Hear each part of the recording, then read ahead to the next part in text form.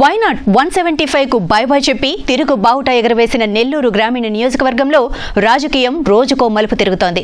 ఈ సెగ్మెంట్లో శాసనసభ్యునిగా ప్రాతినిధ్యం వహిస్తున్న కోటంరెడ్డి శ్రీధర్ రెడ్డి వైసీపీ నుంచి వైదొలగడం రాష్ట్ర వ్యాప్తంగా సంచలనమైంది. పూర్వం నుంచి విలక్షణ రాజకీయానికి పెట్టింది పేరు సింహపురి.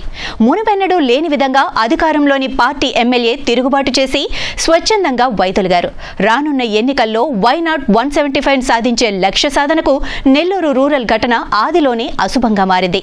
ఇందుకు వంత పాడుతూ తూర్పు రాయలసీమలో సాధారణ ఎన్నికలను తలపిస్తూ సాగిన పట్టభద్రుల శాసన మండలిలో వైసీపీ అభ్యర్థి ఓటమి పాలయ్యారు వైనాట్ వన్ సెవెంటీ ఫైవ్ కోసం ఎట్టకేలకు తాడేపల్లి ప్యాలెస్ను వీడి మరోసారి ప్రజల్లోకి వచ్చేందుకు సిద్ధమయ్యారు జగన్. నెల్లూరు రూరల్ నియోజకవర్గంలో ఎమ్మెల్యే తిరుగుబాటు రాష్ట్ర రాజకీయాలను కుదిపేసిందనడంలో అతిశయోక్తి లేదు.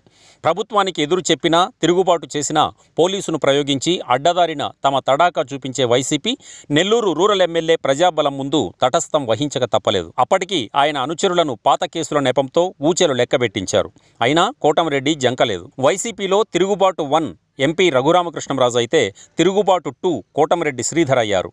రఘురామరాజు తన హోదాకు పదవికి తగిన విధంగా ఢిల్లీలోనే ఉంటూ తిరుగుబావుటాను కొనసాగిస్తున్నారు. కోటంరెడ్డి తన అధికారిక హోదా స్థాయికి తగిన విధంగా నియోజకవర్గం ప్రజాక్షేత్రం నుంచి పోరాటం సాగిస్తున్నారు. ఫోన్ ట్యాపింగ్తో నమ్మకాన్ని వమ్ము చేసిన చర్యలకు నిరసనగా ఏకంగా పార్టీని వీడారు. నియోజకవర్గ అభివృద్ధిపై అసెంబ్లీలో ప్రసంగించి ఆయా శాఖల నుంచి వివరణ కోరాలని పట్టుబట్టి బడ్జెట్ సమావేశాలు ముగిసే వరకు సస్పెండ్ అయ్యారు. పోరాటానికి సిద్ధమై ప్లకార్డు పట్టుకుని అమరావతిలో పాదయాత్ర సాగించి అసెంబ్లీ చేరుకున్న తీరు ప్రభుత్వ పెద్దలను నొప్పించింది. అసలే పార్టీ పక్షపాతి అయిన సభాపతి ఏకంగా కోటంరెడ్డిని మార్షల్స్తో గెంటేయించారు. హఠాత్ పరిణామంతో నియోజకవర్గ రాజకీయం తలకిందులైంది. తిరుగులేని నాయకుడనుకున్న శ్రీధర్ రెడ్డి దూరం కావడంతో పాటు ఏకంగా ప్రతిపక్షం నుంచి పోటీ చేసి నియోజకవర్గంలో తన సత్తా చూపిస్తానని బహిరంగంగానే సవాల్ విసిరారు.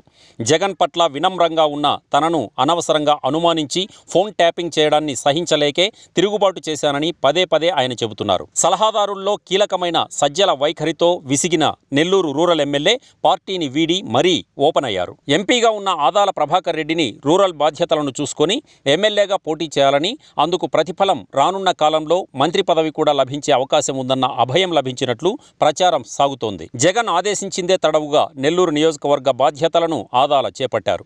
శ్రీధర్ రెడ్డి వెంట వెళ్తారనుకున్న స్థానిక సంస్థల ప్రతినిధులు డెబ్బై శాతం పార్టీ పక్షమే వహించడంతో ఆదాలకు అంది వచ్చిన అవకాశమైంది. వయసు రీత్యా ఆరోగ్య పరిస్థితి దృష్ట్యా విశ్రాంత పరిస్థితిని ప్రకటించే లోపు రాష్ట్ర మంత్రిమండలిలో మరోసారి స్థానం సాధించాలని అభిలాషతో ఉన్న ఆదాల కూడా ఎమ్మెల్యేగా నెల్లూరు నుంచి పోటీ చేసేందుకు ఆసక్తి చూపుతున్నారు. కోటంరెడ్డి తెలుగుదేశం పక్షం వహించేందుకు అంతర్గత పోరాటానికి సిద్ధం కావలసిన పరిస్థితి కనిపిస్తోంది. నెల్లూరు నగరపాలక సంస్థ మాజీ మేయర్ అబ్దుల్ అజీజ్ రూరల్ నియోజకవర్గం నుంచి గతంలో పోటీ చేసే వైసీపీ ప్రభంజనంలో ఓటమి పాలయ్యారు.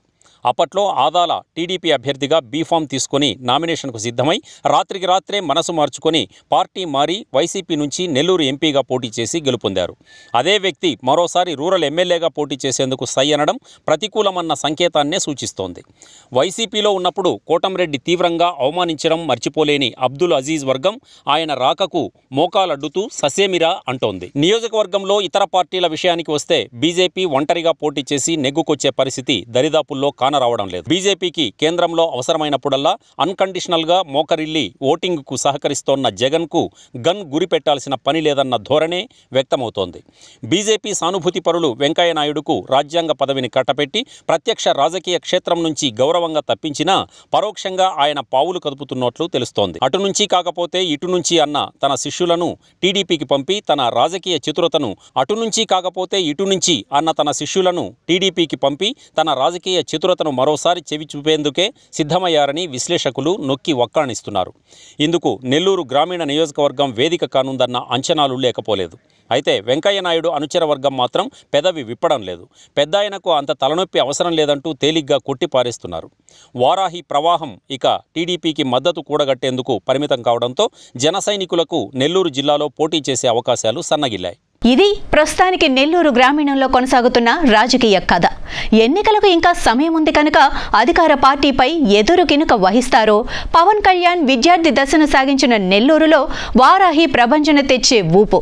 వైసీపీ ఎత్తుగడలు చిత్తి చేసేందుకు ప్రతిపక్షం చేసే ఫీట్లు పసందైన రాజకీయం ముందుంది. బంగినపల్లి మామిడి పండ్లను మజ్జిగలో నంచుకుంటూ రాజకీయాన్ని ఆస్వాదించే నెల్లూరులు చరవాణిలో ఫోర్ సైట్ న్యూస్ను మీటితే చాలు అప్డేట్ వెర్షన్ రాజకీయం